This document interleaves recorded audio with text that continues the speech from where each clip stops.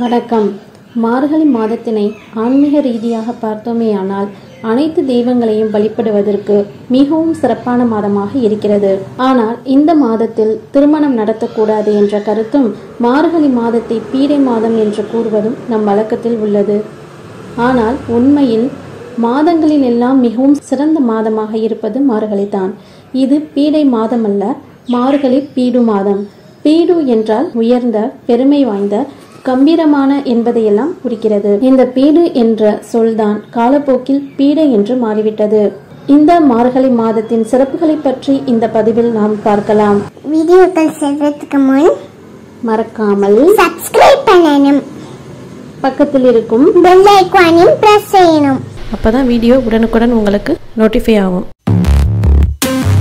தமிழ் மாதங்களில் மார்கழி என்பது இறைவனுக்கு உரிய மாதமாக விளங்குகின்றது. மற்ற மாதங்களில் ஒரு நாளோ ஒரு கிழமையோ மட்டுமே இறைவனுக்கு உகந்ததாக இருக்கும். ஆனால் மார்கழியில் மட்டும் அந்த மாதம் முழுவதும் இறைவனுக்கு உகந்ததாக போற்றப்படுகிறது.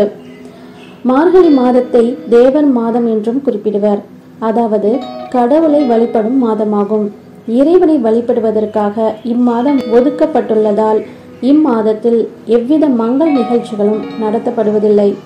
சைவ ஆலயங்களிலும் வைணவ ஆலயங்களிலும் சூரிய உதயத்திற்கு முன்னதாகவே பூஜை ஆராதனை நடத்தப்படும். சிவாலயங்களில் திருவம்பாவை திருப்பலி எழுச்சியும் விஷ்ணு ஆலயங்களில் திருப்பாவையும் பாடப்படும் திருவம்பாவை விரத காலத்தில் சைவர்கள் வீதிதோறும் திருவம்பாவை திருப்பள்ளி எழுச்சி பாடல்களை பாடிக்கொண்டும் ஒவ்வொரு பாடல் முடிவிலும் சங்கு ஊதி கொண்டும் ஆலயங்களுக்கு செல்வர். விஷ்ணு ஆலயங்களில் மார்கழி மாதம் முழுவதும் திருப்பாவை பாடுவர். இந்த மாதத்தில் திருப்பதி திருமழையில் காலையில் சுப்பிரபாதம் பாடுவதற்கு பதிலாக ஆண்டாளின் திருப்பாவை பாடுவார்கள். இம்மாதம் ஆண்டாளுக்கு முக்கியத்துவம் தரப்படும் மாதமாக போற்றப்படுகிறது. மனிதர்களுக்கு ஒரு நாள் அறுபது நாளிகை. ஒரு நாளிகை என்பது இருபத்தி நான்கு நிமிடங்கள். பகல் முப்பது நாளிகை இரவு முப்பது நாளிகை. மனிதர்களின் ஒரு வருடம் என்பது தேவர்களுக்கு ஒரு நாள் ஆகும் தை முதல் ஆணி வரையுள்ள காலம் பகல் எனவும் ஆடி முதல் மார்கழி வரையுள்ள காலம் இரவு எனவும் ஆகும். இதன்படி தேவர்களுக்கு இரவு காலம் முடிகிற வைகரை பொழுது மார்கழி மாதமாகின்றது. மார்கழி மாதம் தேவர்களுக்கு அதிகாலை நான்கு மணி முதல் ஆறு மணி வரையுள்ள இரண்டு மணி நேரத்தை குறிக்கும். சூரிய உதயத்திற்கு முன்பாக இந்த காலம் பிரம்ம முகூர்த்தம் என்று அழைக்கப்படும். ஒரு நாளில் முக்கியமான பாகம் வைகரி பொழுது என்றால் அது மிகையாகாது. அடுத்ததாக இந்த மாதத்தில் திருமணம் நடத்தக்கூடாது என்று ஏன் சொல்கிறார்கள் என்ற சந்தேகம் நமக்கு வரும். இந்த மார்கழி மாதத்தில் உயிர் உருவாகும் தன்மை இல்லாத காரணத்தினால்தான் இந்த மாதத்தில் திருமணம் நடத்தப்படுவதில்லை. இந்த மாதத்தில் ஒரு விதையை விதைத்தால் கூட அது முளைத்து வராது. இதனால்தான் நம் முன்னோர்கள் இந்த மாதத்தில் திருமணத்தை வைக்கக்கூடாது என்று கூறியுள்ளார்கள். மார்கழி மாதத்திற்கு உண்டான தனிச்சிறப்பு பெண்கள் வாசலில் மாக்கோலம் போடுவதுதான். மார்கழி மாதத்தில் காலையில் நாம் சுவாசிக்கும் சுவாசத்தில் ஆக்சிஜனின் அளவு அதிகமாக இருக்கும். இது நம் உடலுக்கும் நன்மை தரும். இதனால்தான் பெண்கள் மார்கழி மாதத்தில் அதிகாலை வேளையில் கோலம் போடும் பழக்கத்தையும் ஆண்களும் குழந்தைகளும் பஜனை செல்ல வேண்டும் என்ற பழக்கத்தையும் நம் முன்னோர்கள் வைத்துள்ளனர். இவ்வளவு முக்கியத்துவம் வாய்ந்த மார்கழியில்தான் இறைவனை அதிகமாக வழிபடும் நிகழ்ச்சிகள் வருகின்றன.